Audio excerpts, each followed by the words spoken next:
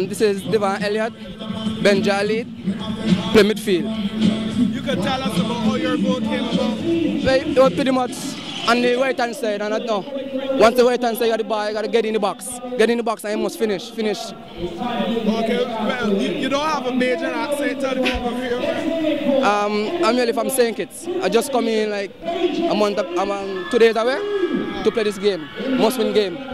Okay, okay. Well, your your goal looked really, really good flying through the air. It's something that you practice, that, that type of, it's, No, it's, it's just a normal, it's just a normal play. Ball come cross for one of the corners. okay. So what you think about football in Barbados coming from St. Kitts? It's pretty, it's pretty good, better than St. Kitts. We don't have these kind of facilities and so. Okay. Us about how it was growing up in St. Kitts as a footballer. Tell you right now, it's really rough. You gotta work 15 times as hard to get out of St. Kitts. But most of the players are overseas, like Tiba, Tiba Harris, Kayamba. Yeah. So what's your dream for your football? Where do you want to take your football ultimately? Really, my major thing is to reach England.